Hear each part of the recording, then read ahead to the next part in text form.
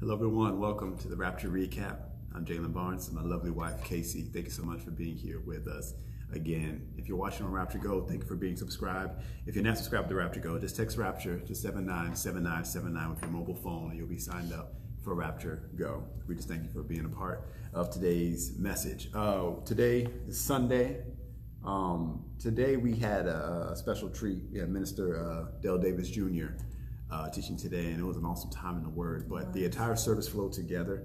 As you know, Casey is our worship leader here, and um, the Lord's been dealing with me with some things about worship over the past week, couple weeks. I said a whole year, honestly, oh, but yeah, for sure, there's been a few things He's been working with you on, and I believe you began to you actually kind of taught some about worship uh, this morning, if you want to kind of recapitulate a little bit, just the broad strokes of what the Lord was showing you uh, about worship as pertaining to us and how we have not been worshiping the way God deserves, the way He desires it. Yeah, I mean, I, have been asking Lord for revelation of worship for a long time, and like I mentioned in service today, you know, I don't have the full revelation of it yet because it's something that I'm still learning myself. But I know without a shadow of a doubt that it's not what we've been seeing, you know, mm-hmm. in churches.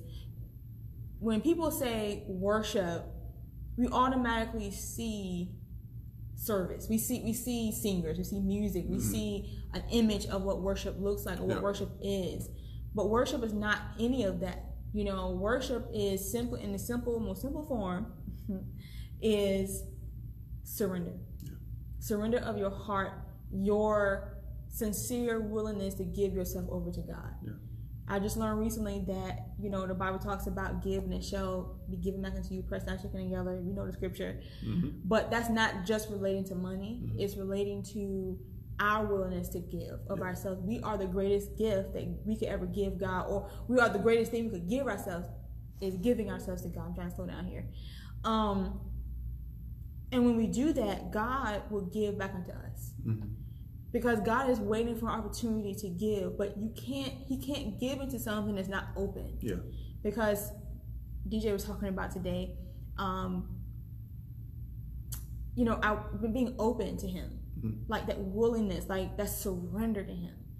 And God wants to fellowship with us. Yeah. And worship is fellowship. It's not a song, it's yeah. not a particular note. You know, if you can sit in a service and worship is going on, and you're so in tune to what the worship leader is saying or, or singing because i've had people to you know make notes in my voice like oh i know you want to sing your best today or or you know or you hit that note really good today and i'm like is that really really what mm-hmm. the you got out of service today, you know, you were so caught up in how I was sounding or how mm-hmm. I wasn't sounding that you can make a note of it. Since something you ain't doing right. You know, I don't come in here to try to entertain nobody or to try to sing the best, whatever. I'm here to say and do what God wants us to do. So, what keeps a person from truly worshiping, from truly surrendering? What is that block? The lack of them? trust. And you just talked about today about we don't know God, we don't know Him, so we're not going to worship anything that we don't know. Mm-hmm. We don't have a relationship with Him. We have a, a knowledge based mm-hmm. off of coming to church, we hear about the Word. Some of us maybe grew up in a church um, a, a, Christian home and things like that. We've heard about God, we've heard Bible stories, but a lot of us don't have an intimate relationship to the point where we can just surrender mm-hmm. and trust. You know, it's it's like a marriage. You know, that's why I believe God established marriage so that we can learn. Mm-hmm. How to trust, learn how to worship Him, because marriage is the one of the highest institutions of covenant that, mm-hmm. we, that God established. Marriage, because in marriage you have to surrender. Yeah and you know, I know just between you and I, mm-hmm. I trust you immensely. Like I don't trust anybody except God more than you. Mm-hmm.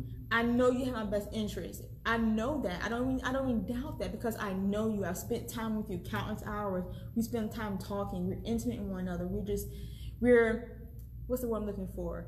I could DJ use it today. Fellowship. Fellowship was another word that he used about like when you get into water. Oh, immersion. Immersion we have immersed ourselves into each other that we trust each other with our money, mm-hmm. with our bodies, with our deepest secrets. Mm-hmm. You know, we trust each other that if I say they look out for this, you're gonna look out for. Mm-hmm. I mean, it's just that kind of thing. But with God, we don't. We have an external experience with God, but nothing internal. Well, what I noticed is when we got married, we didn't start that way. No. That trust and that intimacy built as we fellowshiped, communicated. Yeah and learned to surrender to each other. Yeah. So if we don't do that with God, you can't just get born again and just say, "Well, I just trust God completely." No, you don't, because you don't know Him yet. You can't trust somebody you don't know.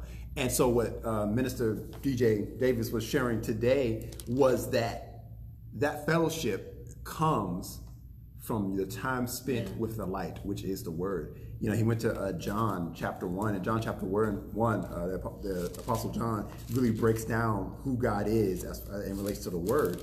And in John chapter one, verse word, he said, in the, verse one, in the beginning was the Word, and the Word was with God, and the Word was God. Um, you look at verse three, all things are made by Him. Without Him was not anything made that was made. In Him, in Him was life, and the life was the light of men.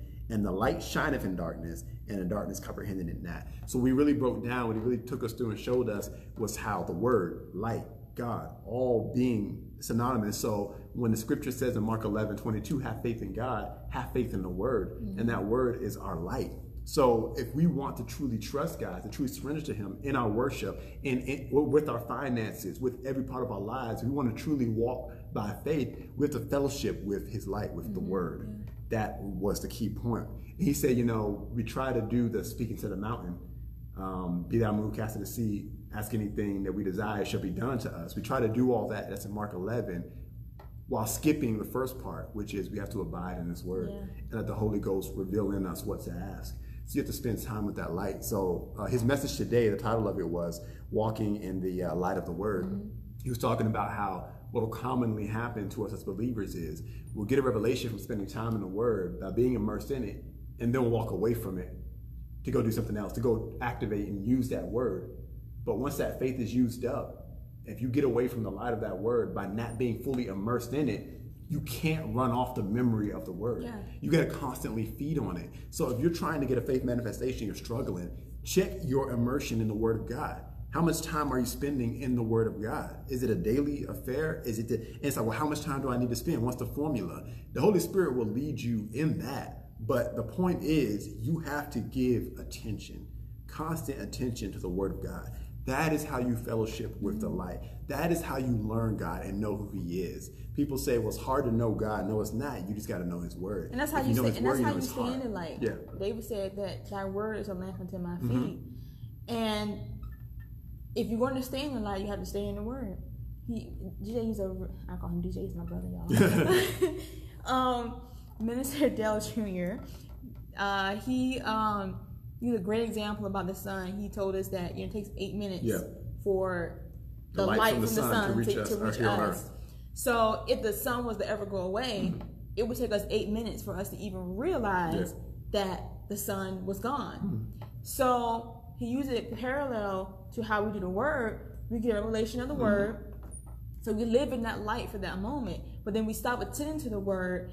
And it may take some time for us to realize that the light of that word mm-hmm. has dimmed and we're moving further and further and back from yep. that light because we're not attending to it. We're not staying in the light by keeping in the word.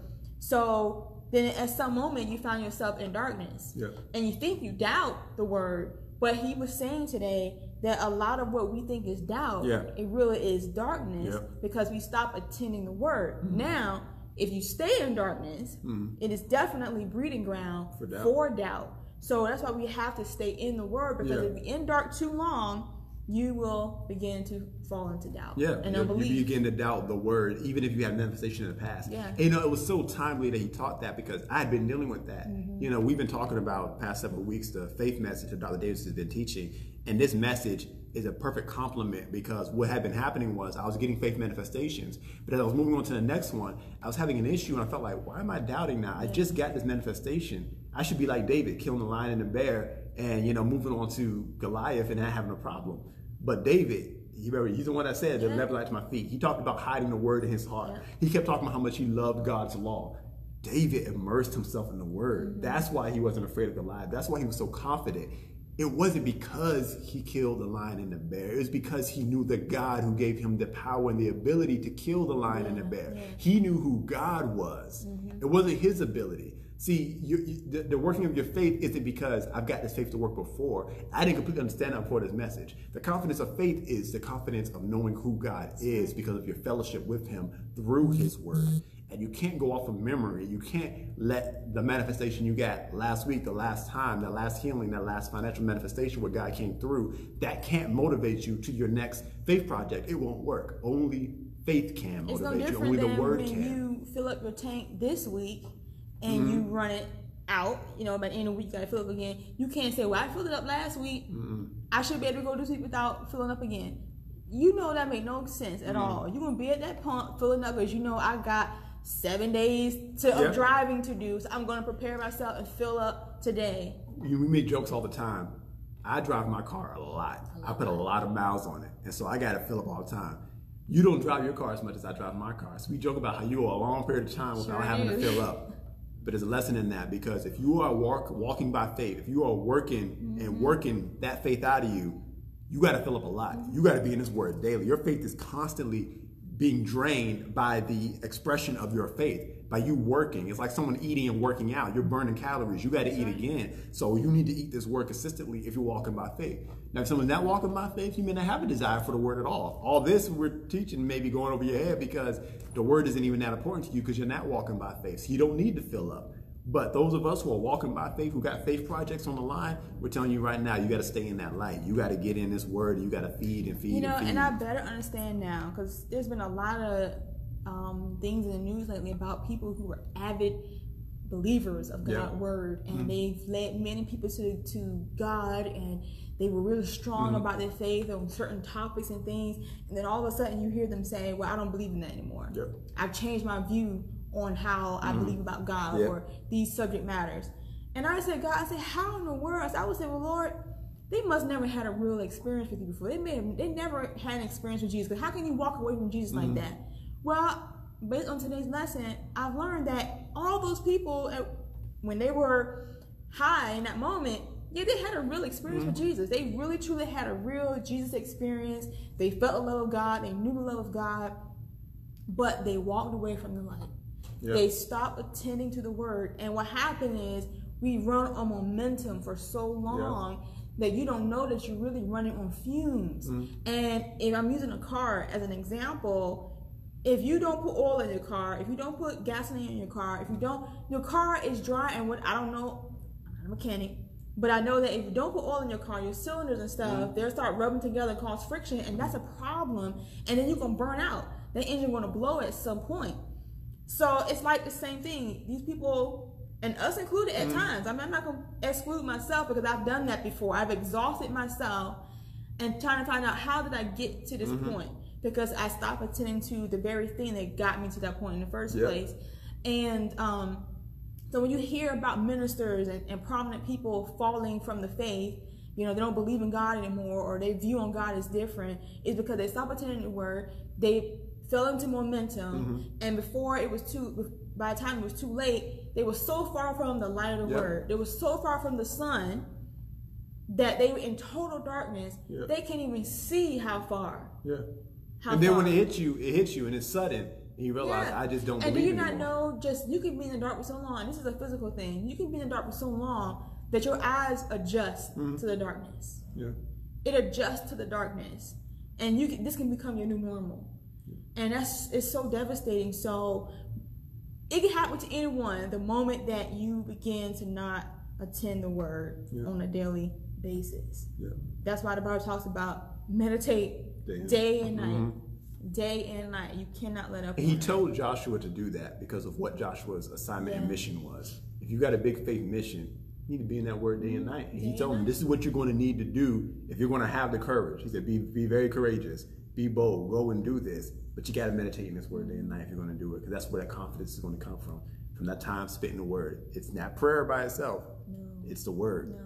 Not even worship by itself, it's the word. Mm-hmm. It's not giving by itself, it's the word. You got to fellowship that word. You can't get around it. So that means you got to make some time. We're busy people, but that's the devil's trick. Get you so busy that you don't spend time in the word. You're going to have to make some time somehow, some way. Well, I mean, listen.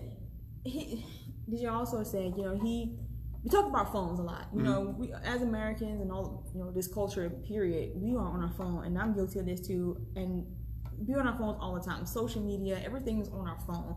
And you see people walking around with their heads down, people walking across the street with their heads mm-hmm. down, because we just cannot be detached from this phone, this technology. And while technology, I'm for, I think technology is I believe technology from God. God created it for us to use for His glory. Mm-hmm. But like anything that devil gets hands on, we abuse it. However, we need to take our technology and turn it and put the word on it. Mm-hmm. You got a phone, put the word on it. Listen to the word. I mean, in your car, listen to the word. When you're in the bathroom, listen to the word. There's opportunities to have the word coming in all the time if we take advantage of it. And we can stop using the excuse, you know, I'm so distracted, so busy. That's not even a real excuse anymore because we have the ability to walk around with wireless earphones. Yep. We got the ability to everything else. The word can be gone 24 7 all the time. want it. If you want it that way. So even this today's message, I have to challenge myself to spend more time Yeah. in the word. And you got to think, how important is the goal? Mm-hmm. Your relationship with God, the manifestation that you need, the deliverance in your family and in your body and, and in your finances. How important is it? Because that's what you'll put in. Because there have been times I've been going down the road, like you said, from work. I got my phone on, um, and I may play something on YouTube that's entertaining to listen to. Something I like listening to that's something to do with some interest that I have, whether it's sports or, or video games or comic books. I mean, listen to something about those topics. Nothing evil about any of those things. But sometimes when I've got a choice between listening to that or listening to teaching on the word, I, I go to the word because I'm like, what I'm believing for, Yeah. what I want to see manifest in my life, is so important. And this other thing that I can listen to, nothing evil about it, but it's not going to help me. It's not going to help me reach my destination. And I want to reach my destination so bad. I'm so dynamic about reaching that destination that I would rather spend that 30 minute drive home listening to the word because that's going to build my faith. Listen, if you if you're all you all you want to be is a basic regular Christian, make mm-hmm. it to heaven, then what we're saying Yeah. don't apply. You Yeah. know, just keep going about your regular day. Mm-hmm. But if you want those people that say, you know what, I want to please God all the time. I want to see the kingdom of God advance in this Yeah. world. I want to be one of the reasons why God's voice gets louder and Yeah. bigger in this world. Then I'm going to surrender myself. This is what I'm going to do to make sure that happens. God, use me. Whatever it is in there, use it. I surrender. I give it all to you. I worship with my life unto you.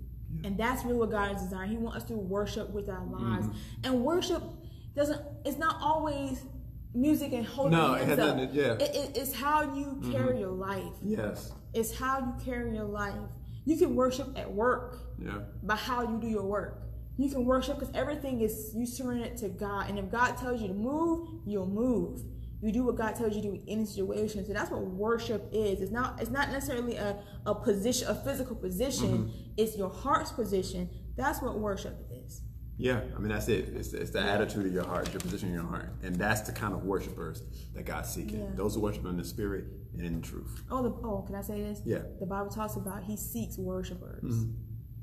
So if God gonna seek you, you gotta be worshiping. Yeah, he ain't seeking nobody else. I mean, we, Worshipers. it's, it's incorrect prayer, but it's like God, do you see me? I need you to come touch me. I need your touch, Lord. Like I, I'm reaching out to you, God. I feel like you, you don't see me. You're looking me over. We want God to find you. You might want to start worshiping. I mean, that's what Turn your seeking worship after. light on. yeah, exactly. Praise God. Well, thank Praise you for God. watching this week's Rapture Recap. Uh, we love you. Sign up for Rapture Go. Text Rapture to 797979. If you would like to support this ministry financially, go to raptureministries.org. You can find the link to that in the description of this video, and you can give by clicking the Give tab and give securely through PayPal so you can support our efforts and our missions in this house and going out online to do the things that we do like this. If you want to listen to this message by Minister DJ Davis uh, that we talked about today, it will come out on Rapture Go this week. So again, text Rapture to 797979. The message is an awesome message. It'll change your life. Um, thank you. We love you. Uh, you for watching this week's Rapture Recap. We'll see you on Sunday.